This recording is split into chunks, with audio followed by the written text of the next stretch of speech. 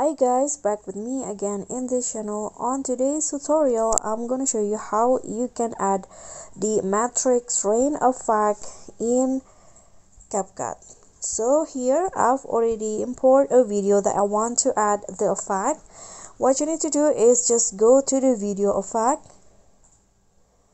and find the scanning category then you'll easily spot the matrix rain so click on the effect wait for it to apply to the clips and you can see the result will look like this. But you can't always adjust uh, the effect more. You can adjust the blur.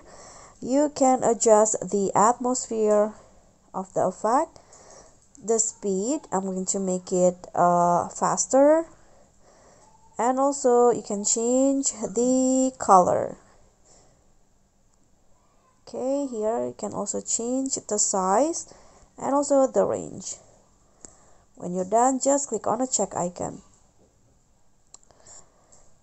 Here just adjust uh, the uh, duration or how much you want the effect to apply to the clips.